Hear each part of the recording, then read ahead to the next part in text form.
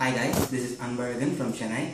I have completed my engineering in computer science from Rajalakshmi Institute of Technology which is affiliated to Anna University and uh, now I will be studying at AUT in New Zealand and I will be doing my postgraduate diploma in computer and information science and uh, I would like to share with you certain things that uh, you know I've come across with the Dilinger Consultants and uh, the reasons why I chose New Zealand. First thing being uh, I chose New Zealand because of the quality of education, the um, friendly people, the cost of living and uh, the educational costs etc. So these are the things that made me decide that I wanted to continue my higher studies in New Zealand.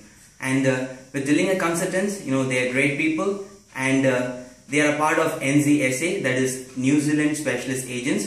So they know every little fact that is required by students who want to pursue higher education in New Zealand, like uh, which is the best university, what is the best course for us, and uh, what are the documents and other details uh, required for getting the visa successfully.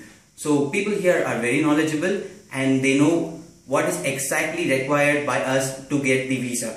So if you are a student planning to you know continue higher studies and if you are planning to go to New Zealand, drop in here, get the expert advice and be a happy student and start studying in New Zealand. See you at New Zealand. Bye bye.